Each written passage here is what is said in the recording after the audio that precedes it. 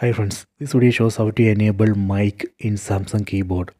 Please don't forget to subscribe this channel. Please like and share the video. First go to messages app. Tap on this icon. Tap on this new message icon. This is a Samsung keyboard but it's not showing mic icon here or here. I will show you how to enable it. First let me close this messages app. Then go to settings. Tap on the settings app icon. Go down go to general management tap here. Go to keyboard list and default. Then enable this option.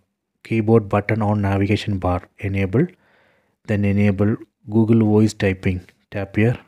Tap on ok. Done. You can see default keyboard is samsung keyboard.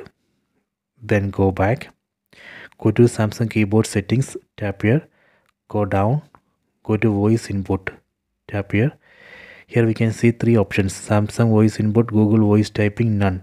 If we want to enable mic in samsung keyboard we have to set select samsung voice input or google voice typing.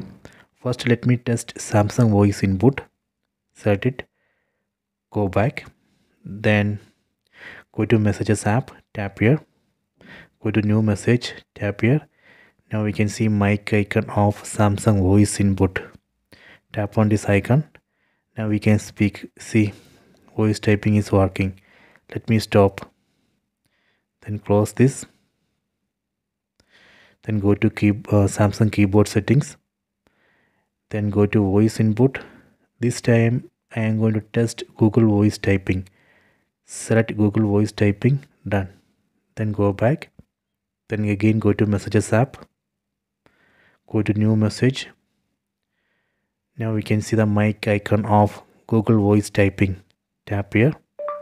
Now we can speak. See google voice typing is working. Let me stop. Done. This way we can enable mic icon in samsung keyboard. I hope you have enjoyed this video. Please subscribe this channel. Please like and share the video